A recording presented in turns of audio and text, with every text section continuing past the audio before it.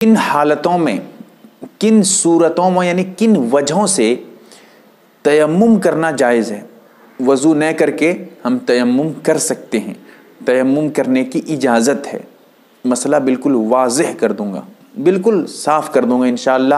ہر طرح کا آپ کے جو اشکالات ہیں، وہ سب دور انشاءاللہ ہو جائیں گے۔ سب سے پہلی وجہ، پانی کا نہ ملنا۔ اس سے پہلے میں آپ کو حوالے بتا دیتا ہوں کہاں سے میں مسئلہ بتا رہا ہوں۔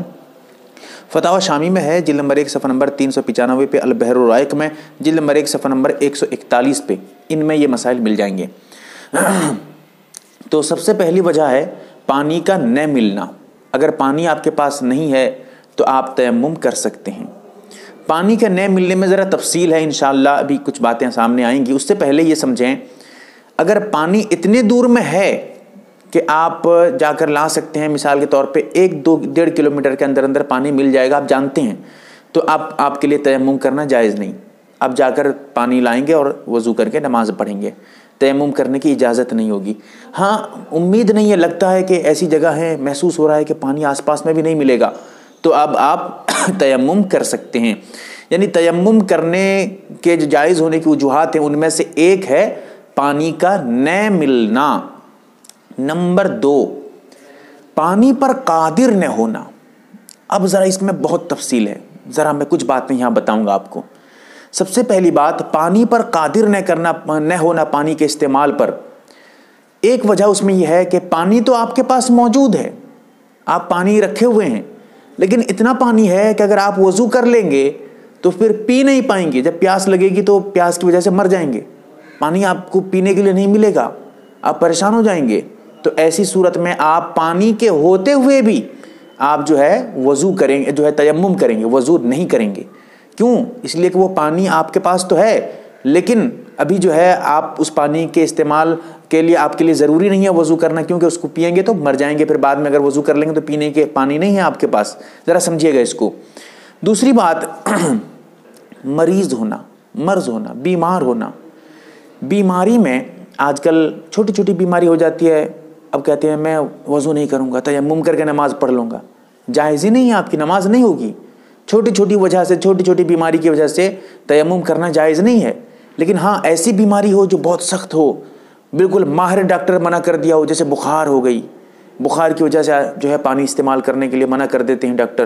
یا پھر خود تجربہ ہے اس کو، اگر میں پانی استعمال کروں گا، میری بیماری بڑھ جائے گی۔ یا بیماری بڑھے گی تو یا نہیں بھی بڑھے گی، لیکن پھر جو تندرست ہونے میں مجھے وقت لگ جائے گا۔ تو ایسی صورت میں اب اس کے لیے تیمم کرنا جائز ہے۔ چھوٹی چھوٹی وجہ سے، چھوٹی کسی بیماری کی وجہ سے چھوٹے چھوٹے مرض کی وجہ سے وہ جو ہے تھوڑی بہت مریض مطلب مرض ہے، تھوڑی بہت بیماری ہے، اس کی وجہ سے تیمم کرتے ہیں، یہ جائز نہیں۔ مرض اگر بہت سخت ہے اور واقعتاً پانی کے استعمال کرنے سے اس بیماری کے بڑھ جانے کا خطرہ ہو یا دیر سے صحیح ہونے کا خطرہ ہو یا جان جانے کا خطرہ ہو، تو آپ ایسی صورت میں تیمم کر سکتے ہیں، تیمم کرنے کی اجازت ہے۔ یا پانی ہے لیکن آپ اس کے نکالنے پہ قادر نہیں، مثال کے طور پہ کنواں ہے۔ کنویں میں پانی ہے، دیکھ رہے ہیں۔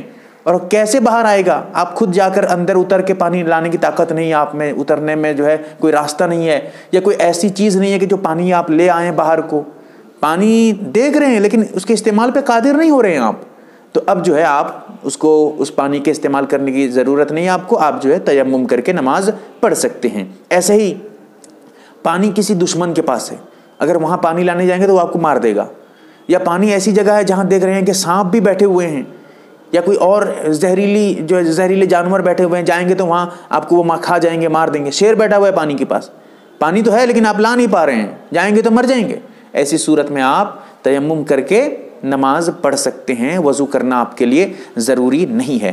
یہ کچھ مسائل ہیں میں یہ کچھ مسائل میں نے آپ کے سامنے رکھا ہے کہ جن وجہوں سے تیمم کرنا جائز ہے، اس کو ذرا غور فکر سے سمجھیں، نہ سمجھ پائیں، نمبر کھلے عام دیا ہوں تاکہ علماء سے رابطہ کریں، پوچھیں مسئلہ نہیں سمجھ پائیں اور جو ہے کمنٹس میں پوچھیں یا واٹس ایپ میں پوچھیں وغیرہ وغیرہ بہت ساری باتیں ہیں۔ اللہ تعالیٰ ہم تمام کو صحیح مسئلہ سمجھنے کی توفیق عطا فرمائے۔ آمین یا رب العالمین۔ یم اے آر بی دینی معلومات چینل کو سبسکرائب کریں اور گھنٹی والے نشان کو ضرور دبائیں تاکہ ہماری ہر نئی ویڈیو آپ تک پہنچتی رہے۔ ویڈیو کو لائک اور شیئر ضرور کریں اور ہماری ہر ویڈیو آپ اپنے اپنے چینل میں ڈال سکتے ہیں۔ نیز ہمارے ساتھ واٹس ایپ پر جڑنے کے لیے آپ اپنا نام اور مکمل ایڈریس کے ساتھ ایڈ لکھ کر میرے WhatsApp number eight nine zero eight nine three nine three four three کو میسج کریں۔